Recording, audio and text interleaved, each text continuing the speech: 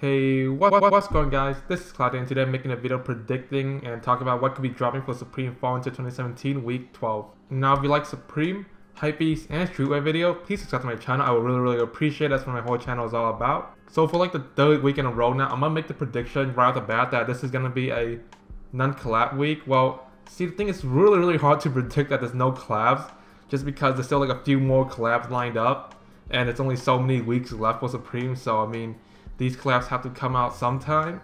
But then again, the accessories have to come out sometime, which is what I'm personally waiting for. There's so many fire accessories, but that Supreme has yet to drop yet. Like this is too many to list. Like the sled, the little cash box, uh, the robe, the like little mat, the the Fender guitar. There's so many like, accessories left.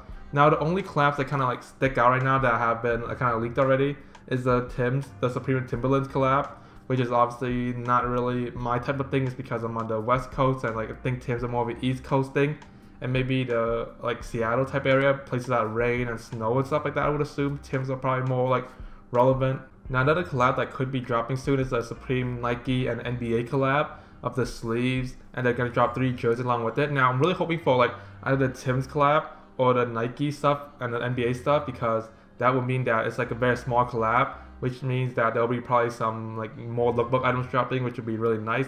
There's only a really a limited amount of lookbook items left, but still a lot of accessories that I'm definitely gonna be waiting for. And like, I do want some of them, some that I want to like cop and see how hype they are, and then resell it, and then make live cop videos because I really enjoy making those because it's kind of like a nice little challenge to, for me to try to cop items and then like do an unboxing and everything of them. So if I have to make a prediction right now, I'm gonna just gonna have to go with that. It's gonna be the Supreme and Timberlands collab and that's gonna be announced like later on in the week maybe.